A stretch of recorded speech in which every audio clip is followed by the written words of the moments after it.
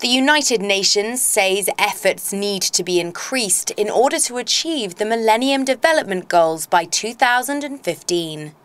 Despite big improvements worldwide in poverty reduction, healthcare, and HIV prevention, a new UN progress report shows that education, child mortality, and non communicable diseases still pose major challenges.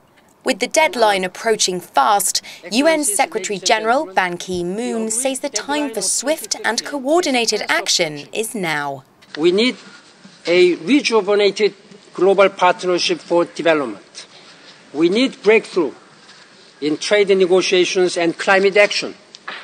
We need to build resilience to shocks, be they conflicts, natural disasters, or volatility in food and energy prices. Let us strive to connect the dots so that solutions to one can become solutions for all.